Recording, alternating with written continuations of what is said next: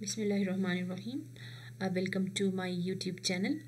Today we will uh, discuss some uh, important topics of uh, bioenergetics uh, like uh, respiration, types of respiration, and importance of fermentation.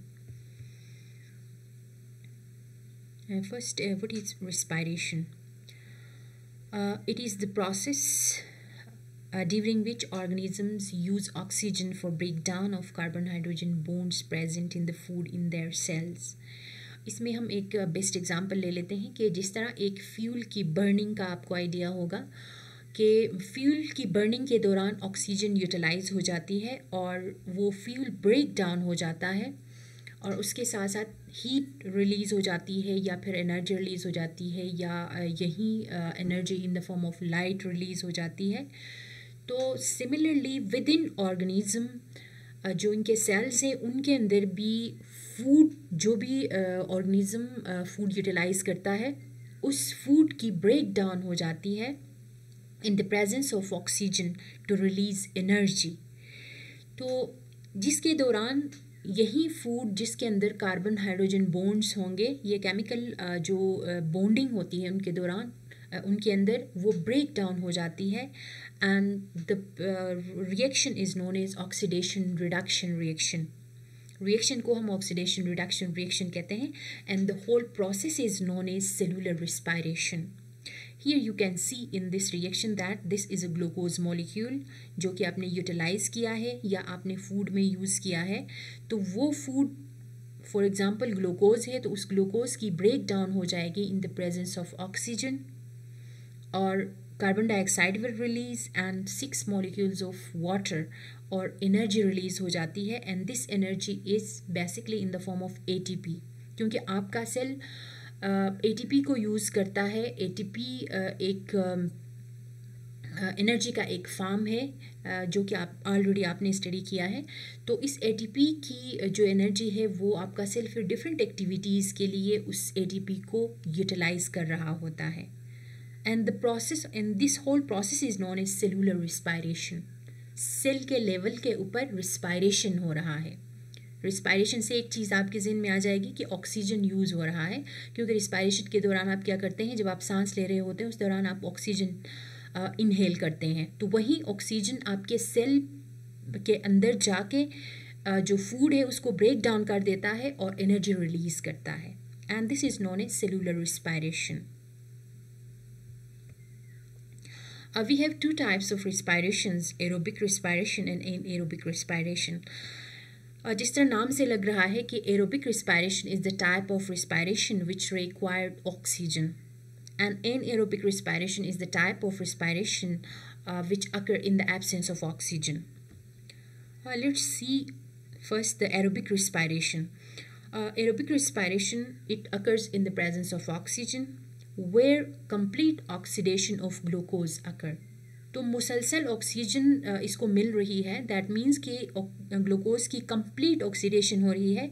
Glucose will completely break down to release carbon dioxide water and energy and here, maximum release of energy occur.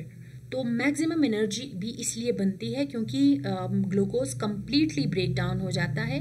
Completely break down होके ये products में convert हो जाता है।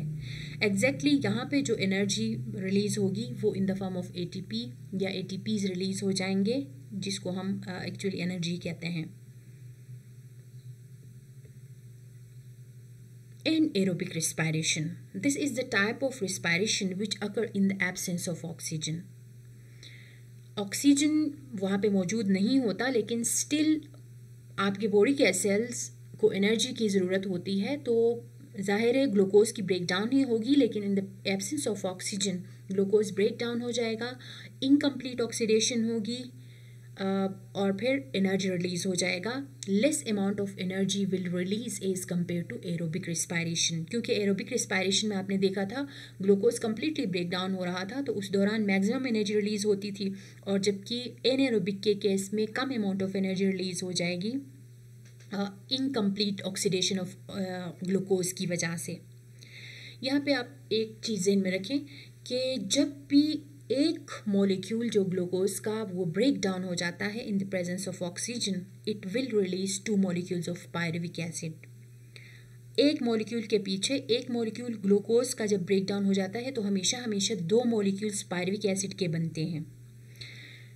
तो ये जो first step में पायरविक एसिड की फॉर्मेशन होती है, वो पायरविक एसिड फिर मज़ीद कम्प्लीटली ऑक्सीडाइज नहीं होता। जबकि एरोबिक के केस में क्या होता है कि फ़र्स्ट स्टेप में ग्लूकोज ब्रेक डाउन होकर दो मॉलिक्यूल्स बनते हैं पायरविक एसिड के। और वो पायरविक एसिड कम्प्लीटली फिर सेकेंड स्टेप में वो कम्प्लीटली ऑक्सीडाइज हो जाता है।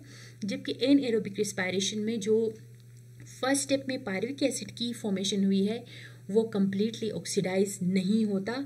ये फिर पायरविक एसिड या इथाइल अल्कोहल में कन्वर्ट हो जाता है या फिर लेक्टिक एसिड में कन्वर्ट हो जाता है, जो कि आगे हम नेक्स्ट स्लाइड में इसको डिटेल में स्टडी करेंगे।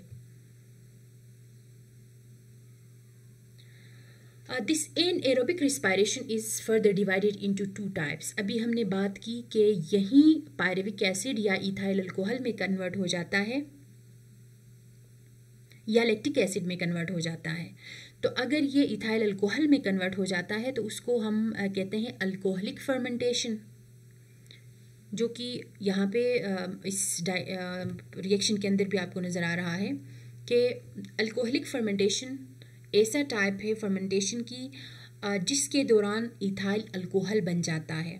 The pyruvic acid will convert into ethyl alcohol और carbon dioxide will release this type of process mostly occurs in bacteria and yeast तो एन एरोबिकली जिनके अंदर रिस्पायरेशन हो रही होती है, उनके अंदर फ़र्स्ट स्टेप में ग्लूकोज पायरविक एसिड में कन्वर्ट हो जाएगा और फिर पायरविक एसिड फिर इथाइल अल्कोहल में कन्वर्ट हो जाता है in bacteria and yeast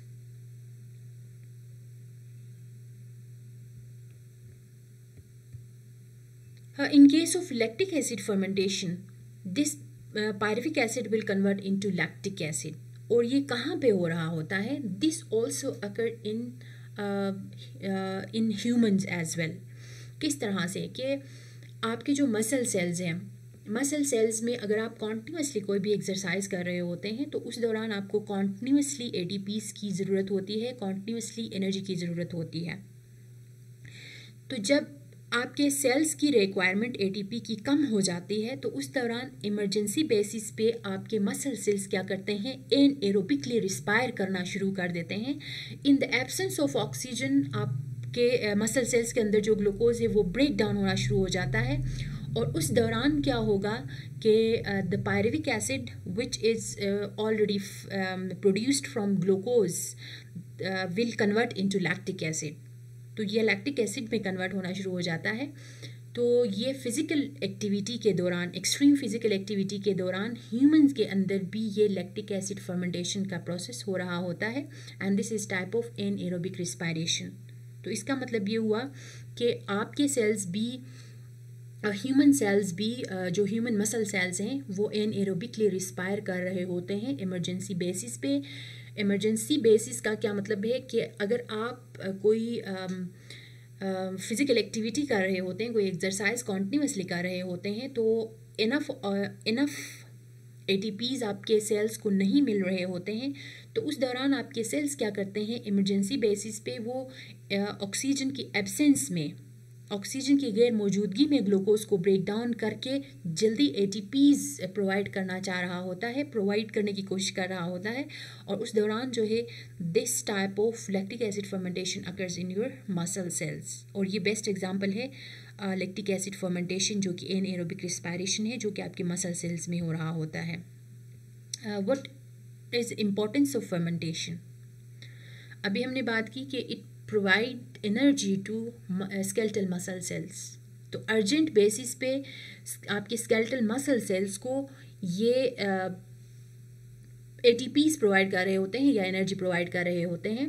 This is major importance and secondly during early ages जो कि ऑर्गेनिजम्स मौजूद थे अर्थ uh, के ऊपर तो वहाँ पे ऑक्सीजन की अवेलेबिलिटी नहीं थी. तो जब ऑक्सीजन की अवेलेबिलिटी नहीं थी तो लिव इन ऑर्गेनिज्म ने सर्वाइव तो करना था। तो उस दौरान भी इन लिव इन ऑर्गेनिजम्स ने क्या किया है? इन एरोबिकली रिस्पायर किया है। ऑक्सीजन की गैर मौजूदगी में, वहाँ पे ऑक्सीजन अवेलेबल ही नहीं थी। तो ऑक्सीजन की गैर मौजूदगी में भी इन्होंने एनर्जी अपने लिए प्रोवाइड किया है, ताकि वो लाइफ की एक्टिविटीज़ को अपने मेंटेन कर सकें।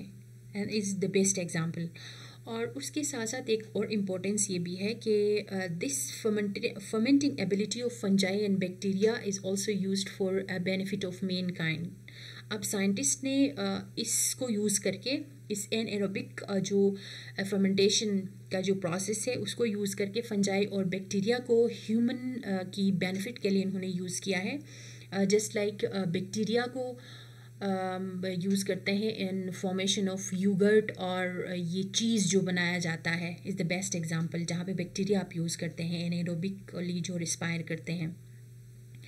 अनदर एग्जांपल इज़ के फंजाई वगैरह ब्रिविंग और बेकिंग इंडस्ट्री में जो यूज़ किया जाता है दैट इज़ बेस्ट एग्जांपल जिसमें सोया सॉस वगैरह की सैंथेसिस की जाती है या सोया सॉस की प्रोडक्शन की जाती है by using fungi Aspergillus fungi specially एक स्पेशी है फंजाई का, उसको यूज़ करके सोया सॉस बनाया जाता है। Is the best example thank you so much for watching my video.